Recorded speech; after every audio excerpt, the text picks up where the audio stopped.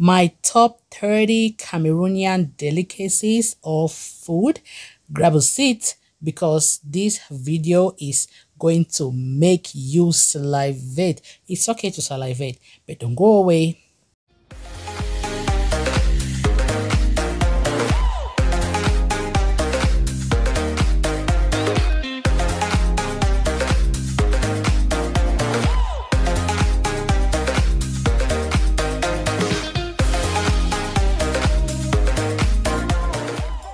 Hello beautiful people. It's your girl claudia and welcome back to my channel.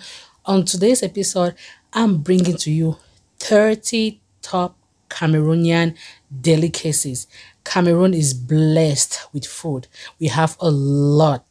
Before we get started please hit the subscribe button and turn on the notifications so you don't miss out when i post any of my videos most of the food I'll be bringing to you today, I have the recipes on my channel. I'm going to put some of the links in the description box for you to check it out. The first delicacy here is koki beans. This dish is mouth-watering. It is made with black-eyed peas soaked blended and with some palm oil and other ingredients. You can definitely enjoy it with plantains, sweet potatoes, yam or whatsoever you choose. The next on my list is goat meat pepper soup. Pepper soup, you have many spices. People cook it differently and it really tastes good. Peppered or spicy snails. You can either call it slow boys or nyamangoro, short form nyama. It has a lot of names in Cameroon. Snails are rich in protein and low in fat, so please definitely eat snails. It is common with people in the southwest region of Cameroon. The next here is this amazing, juicy, delicious grilled mackerel or roasted fish. My side here is kwacoco, onions, and some pepper sauce. In Cameroon, we have many ways in which we marinate or grill the fish egusi soup. Egusi soup is made from pumpkin seeds and you can put some green leaves inside like bitter leaves or spinach and any protein you like. Enjoy it with gari, fufu, plantains or whatever.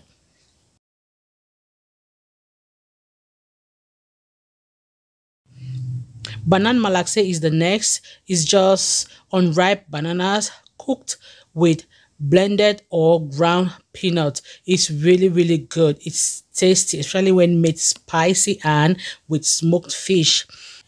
Poulet DG on my list. Who does not like poulet DG in Cameroon, our parents made us believe that only rich people enjoy this meal, but nowadays anybody can eat it.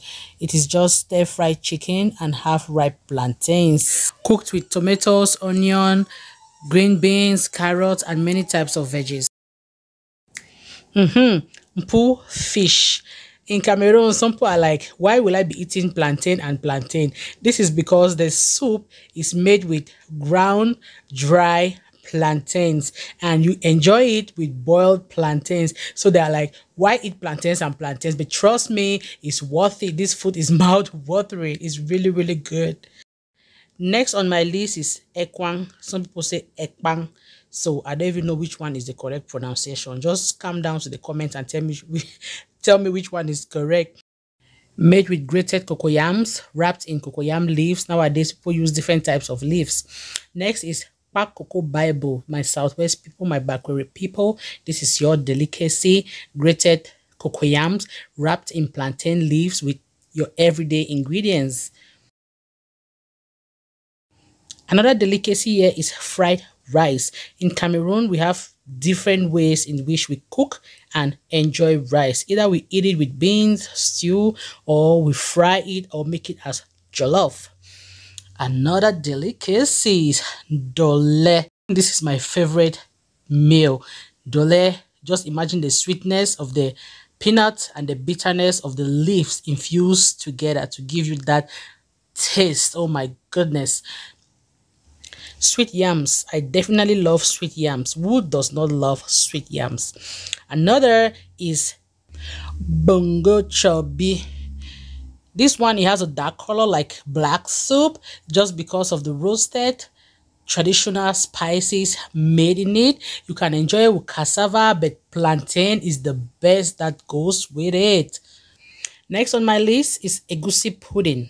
In egusi pudding is just pumpkin seed blended with some ingredients wrapped in leaves and boiled. Eru. Eru. Is it eru or eru? Whatsoever, just bring fufu and let me show you how it's eaten. The next is grilled or roasted plantain with palm oil and pear. Just have it for breakfast or for dinner. bobolo and granite paste. I can have this dish three times per day and I will be very, very okay. Another is bitter leaf soup and fufu.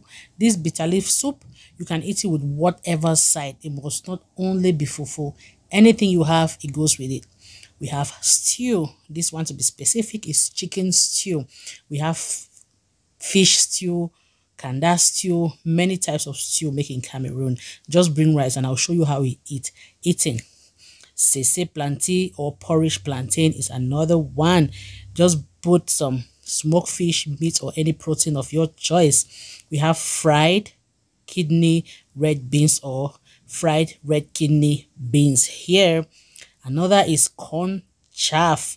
That's corn cooked with beans and our favorite or everyday ingredients. Achu is the next. My Bamenda people, Bafut Bambili, where you at? Come, let's enjoy this Achu delicacy. Fried cabbage and beef. Who does not like fried cabbage? Just bring some plantains and I will show you how it's eaten. Like I said before, we have different types of stew. This one is fish stew check the description box because I have recipes of these meals. Okongobong soup or pumpkin leaf soup. This one, in fact, I don't need to explain much. If you've tasted it, you know what I mean. We have some peppered kanda or spicy kanda fried with tomatoes, onion, and any other ingredients of your choice. Fufu corn and kati kati, njama njama, pepper. In fact, when we talk about kati kati, it's just roasted or grilled chicken cooked with palm oil. The next here is jollof rice. It's different from the fried rice I showed before. This one is just jollof rice. You can eat it with any protein, chicken, beef, fish, or whatsoever. But trust me, it's amazing. We have garden egg stew or eggplant stew. But in Cameroon, we call it garden egg.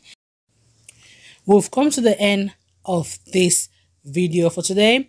So let me know in the comment section which Cameroonian dish is your favorite and which one you haven't yet tried out and you would love to try it out. Lastly, check out my other recipes on my channel. I bet you they are amazing. Thanks so much for watching. Bye-bye.